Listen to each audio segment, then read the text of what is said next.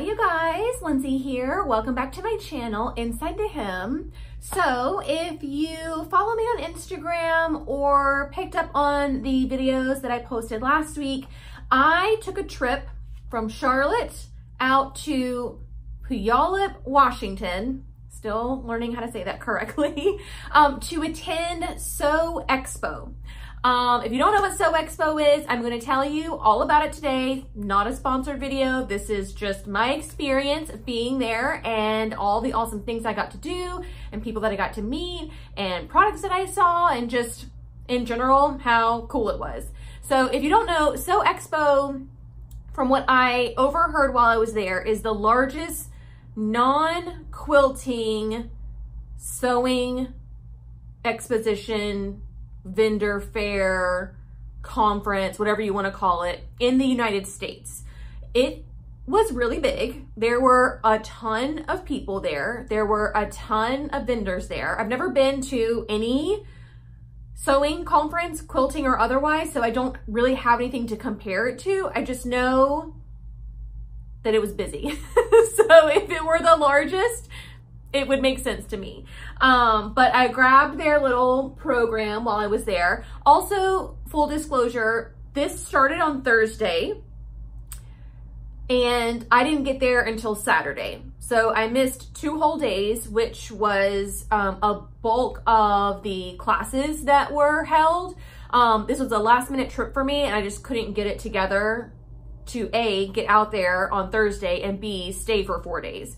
Um, so, but anyways, I, um, I grabbed this and I wanted to, um, read off to you some of the classes that they had because I know that you guys will be interested in taking these because these are the questions that you guys are always asking me about in the comments.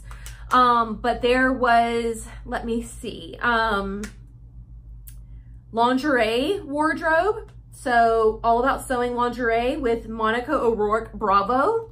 That's who taught that. Easy Fit with multi-sized patterns with Karen LePage. That would also be very interesting to you guys. Um, there was one about, oh, here it is. Uh, wait.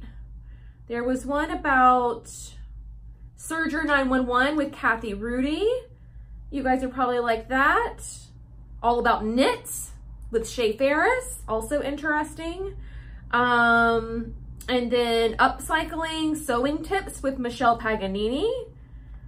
So you can tell there was a ton of focus on garment sewing. Um, I really feel like it wasn't a gimmick that it is the Stitchery and Sewing Expo and not like a quilting expo. I really feel like it lived up to being a sewing exposition for everyone, for quilters, needle workers, and also garment sewists. I mean, there were a ton, a ton of um, classes for garment sewers. There's also a lot of classes that kind of crossed over that would apply to both sewing and quilting, like um, classes on pressing, on like ironing and pressing your seams, classes about uh, using rulers, uh, maybe properly. I'm not sure. Again, I didn't, I didn't attend any of these. Um, something called ice dyeing. That sounds super cool. Um, so next year when I go, I'll be sure to plan it out a little bit better and get there for all four days. Um, I did have a little mini meet and greet on Saturday. So thank you to everyone who came. Um, also just anyone who stopped me in the aisles or out on the street or whatever. It was really, really nice meeting all of you. And I know it's weird to stop somebody that you think you know, but they don't know you from Adam. I get that. I have the same thing whenever I am meeting the people that I enjoy from social media too. So don't worry about it being awkward. We're all in this together and I'm a really nice, sweet person. So I'll make it as least awkward as possible. If you ever see me out in the wild, please, please, please come say hi. It, it really, really makes my day.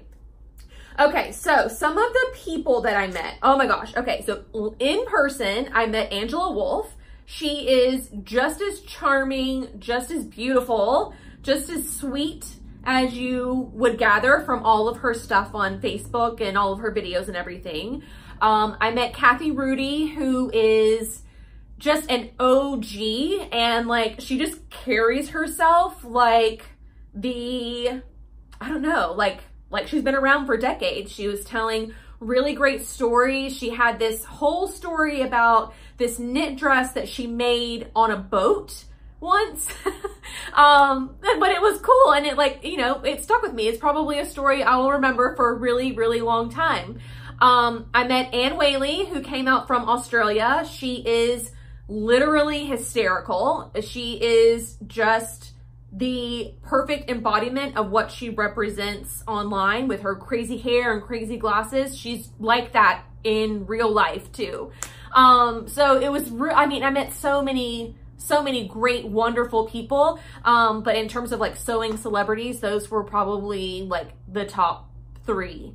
Um, I also discovered a ton of vendors and a ton of companies that I had never heard of before. So I'm going to go over some of them. Um, if, uh, full disclosure, I did not purchase any of this. It was all given to me as a gift. So, but I'm covering it all. I'm not leaving anything out. So not picking favorites. But um, So Sew English Fabrics, have you guys ever heard of them? They gave me this little sticker. Um, I didn't go in their booth. I didn't look at their fabrics. I can't even comment on the quality of them, but have you guys heard of them before? I know you're always looking for different fabric shops that you can um, shop online. So that might be a good one to check out. It's oh, so sew englishfabrics.com. Um, I also met this lovely, lovely lady. Um, her name is Ginger Steele and she makes ceramic buttons. How cool are those? She gave me this and she gave me, oh, hold on, they're over here. Look how beautiful those are. Um, she doesn't currently sell online. She said that she was like trying to get it together um, and that she was really good at making things and not so good at selling or like selling and marketing them, which I thought was hysterical. But she does have an Etsy shop. So if she ever gets it together, you can find her stuff on Etsy, Ginger Steele Art. They're really cool. Really, really cool. Um, I also met, I forgot to mention, um, Annie Unrein, who designs all the bags. And again, these people are like pros at personifying themselves so perfectly online. But Annie is little, petite, sweet, charming. She's just exactly what you would imagine from watching her product videos. She's literally just like that. Um, and she gave me this pattern. She said it had been out for a few years, but I don't remember seeing it. It's called Pack It In, and it's those really cool packing cubes. So I might try and whip some of these up before any vacations that I take um, this summer. Loved those. She also showed me a pattern that hasn't even been released yet. I guess it's something that she just made for herself once and then people started asking about it. So she's like, okay, sure, I'll make that. Um, it was really clever, really cool. It was basically like a hanging caddy. I don't know how to explain it, but it was like flat, you know, not a caddy like that your shoes would fit in, a caddy that like notions or smaller items would fit in and it lays flat. You can pack it away in your suitcase really easily. And it also comes with like a hanging loop, hook, something like that. Um, okay, so I mentioned before uh, the upcycling class from Michelle Paganini. She actually has patterns designed for upcycling. I know that kind of sounds confusing, but anytime I do a refashion, I'm always hearing from you guys in the comments about how like, oh, I could never do that. My, my mind doesn't work that way. My brain doesn't work like that. Well, she walks you through exactly how to, like this one, for example, takes three dress shirts and turns it into that dress. And she had a whole bunch of them made up um, and depending on which shirts you choose to use and the patterns on those shirts, you can come up with some really cool, very unique garments. So um, I might try and do one of these for one of my upcoming refashions. I just thought the concept was really neat. There aren't necessarily pattern pieces. It's more of like a process that you follow. Um, but yeah, I've never heard of that. And I'm like out here refashioning all on my own every single month. Um, here's another one that she gave me. This is the Patty shirt. So you can see the front still looks like a uh, button down, but the back has that cute little like skirt peplum type thing to it. So I thought that was really neat. Really cool concept. Um, I met Dana Marie from Dana Marie Designs. She was just wonderful, so smart, um, and just very, very passionate, I guess would be the way. She just, you can tell, she just really loves doing what she does. And, you know, when you're at a conference and you're meeting vendors, especially the owner of the company, not all of them are great at being out in front of people. um, you know, sometimes, you know, we're introverts, you know, crafty people can be very kind of closed off and introverted. Um, that is not how she is. She's very, very outgoing. Um, it made me feel very comfortable talking to her. I really enjoyed it. So she gave me this super cool jacket pattern, right? Isn't that so neat? This little thing is just like an overlay. So I can see myself applying it to, I mean, all kinds of garments. It can go on anything. Um, so maybe a dress or a top, I don't know. That little thing's probably going to find its way on every kind of garment that there is. Um, so if you've never heard of Dana Marie, go check her out. And then lastly, I have a, um, like a charitable organization. And this is something I feel like we could do a better job of like spreading the word about these companies who use sewing to help less fortunate people. Um, there were two that I can remember that were at Sew Expo. One of them helped girls who were caught up in sex trafficking. Um, and I can't remember the name of it now. But then another one is called Sew Powerful. And basically you go on their website and you go on their website and order this kit to make this bag then you make the bag and it and they stuff it with feminine hygiene products. Um, and they send it to girls in Africa, maybe. I'm doing a terrible job at this. Uh, to help them stay in school. It says, our mission is to combat extreme poverty. We do that by training and equipping young adults in Lusaka, Zambia with good paying jobs. They create perfect, Purposeful products like school uniforms, reusable feminine hygiene products, and soap, all designed to keep kids in school and enable academic achievement.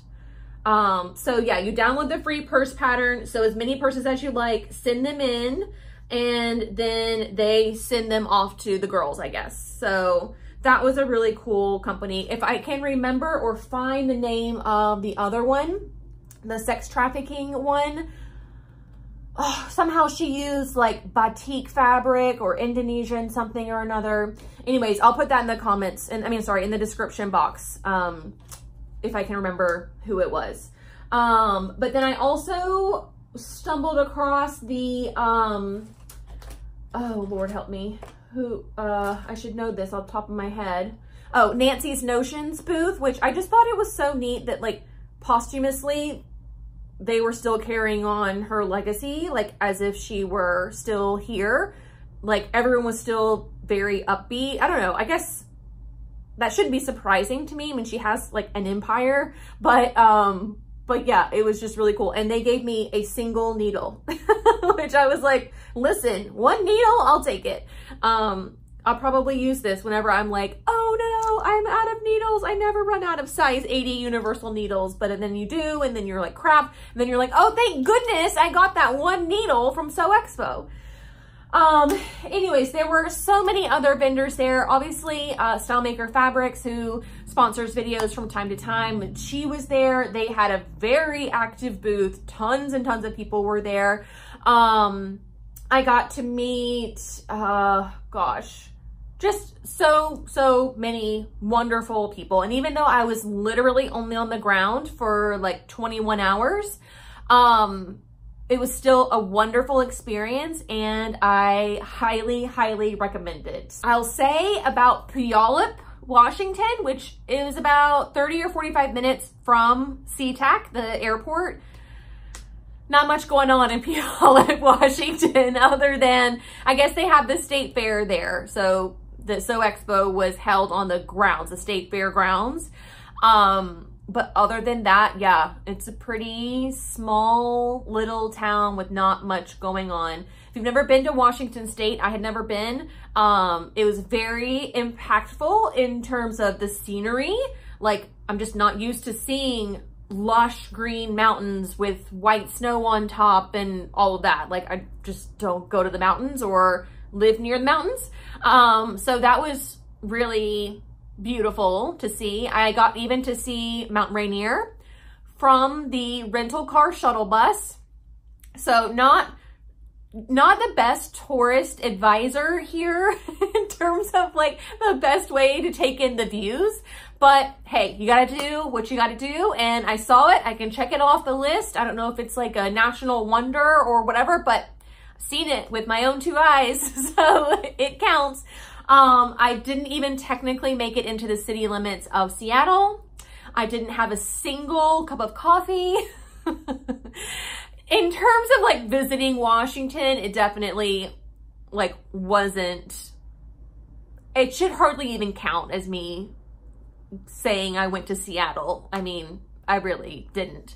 Um, but Sew Expo, I feel like I'm making my way toward expert level on, on Sew Expo. So anyways, I really hope you guys enjoyed this little haul and hearing a little bit about my experience there. I hope that you will check it out and come next year. Like I said, I'm fully planning on attending again. Um, so there will be more meetups. Uh, maybe I could see about teaching a class of some kind. I don't know. Um, we'll, we'll kind of have to wait and see about any of that. But you can start planning your trip now. Um, next year is a leap year. Crazy. Um, so I don't know. It's the last weekend in February. Something like that. You can go to sewexpo.com and learn more about next year's expo, who the vendors will be. I mean, maybe not now, but as the year goes on, they'll have all that information there for you. So hope to see you next year. And as far as these videos go, I will see you all very soon. Bye.